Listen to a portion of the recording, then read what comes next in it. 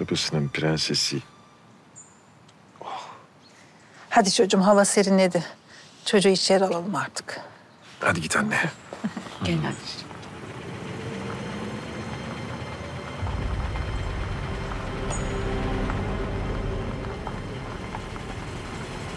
Hadi hayırlısı bakalım. Bakalım şimdi ne oldu?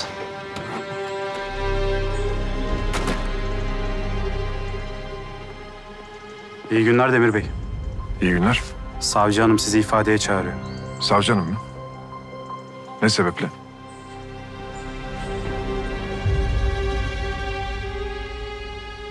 Allah Allah.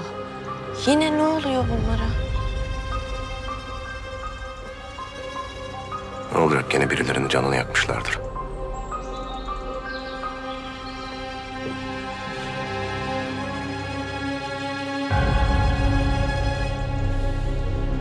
Tamam siz gidin ben peşinizden gelirim.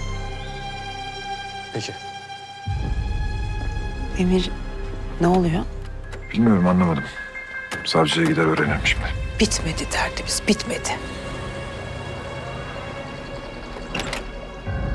Ben ifade verip geleceğim. Dikkatli ol annem.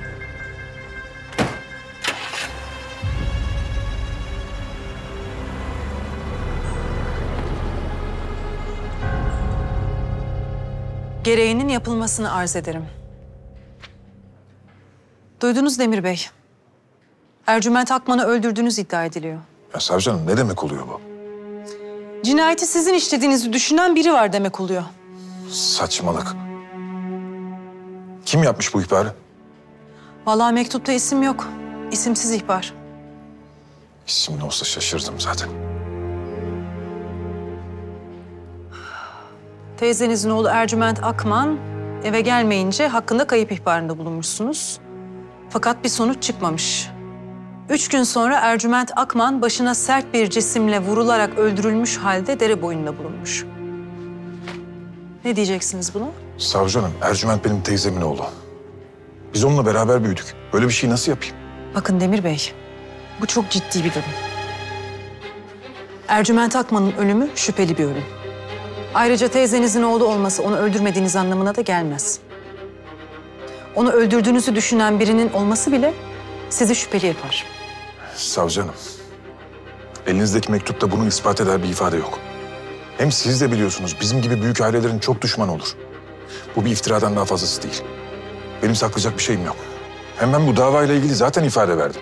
Dava dosyasında bunu görebilirsiniz. İfade verdiğinizi biliyorum Demir Bey. Ama hakkınızda ihbar olduğu için tekrar ifadenizi almamız gerek.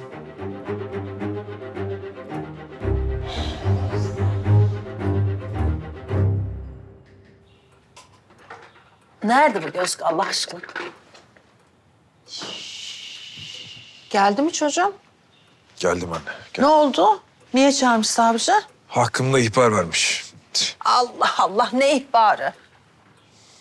Ercüment'i benim öldürdüğümü sanıyorlar anne. Ne?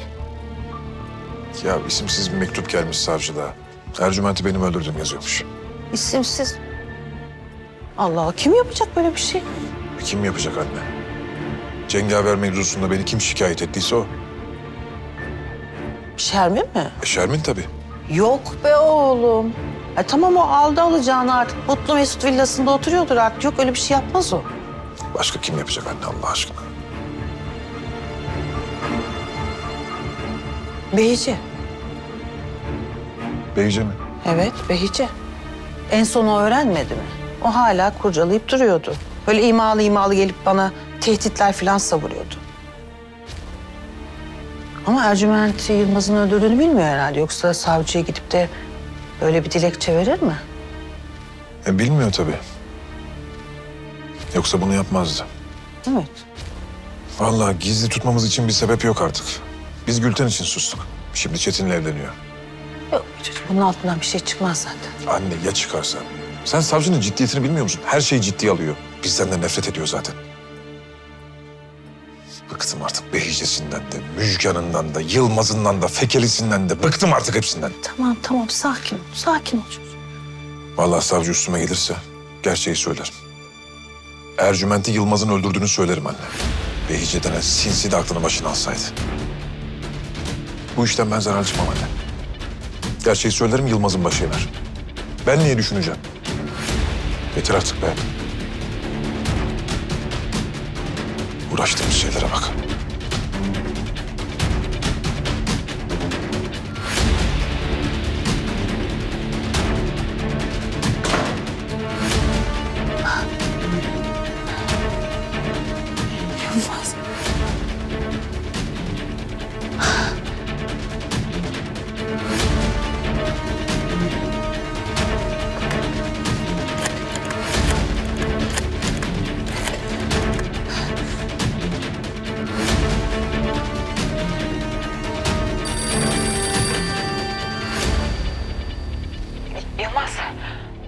Efendim Züleyha. Orman kulübesi mi? Tamam geliyorum.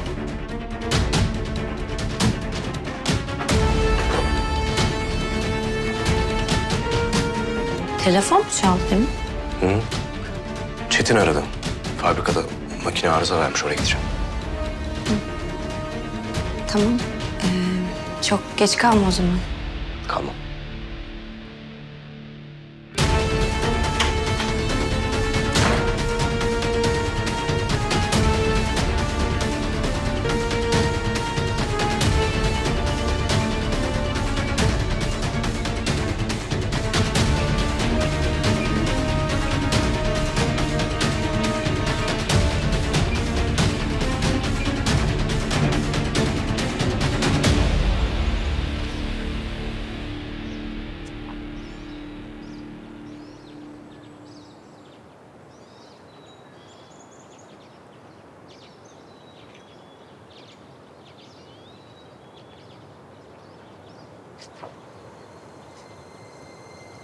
Züleyha. Ne bu halin ne oldu? Yılmaz. Züleyha bir şey mi oldu? Yılmaz Ercüment'imi öldürdü.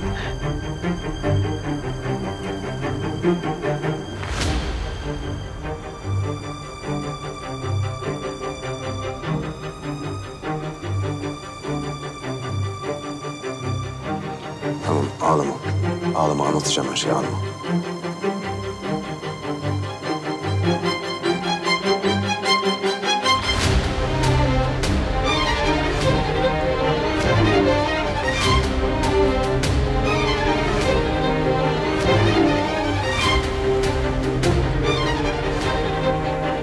İçeride her şeyi anlatacağım sana gel.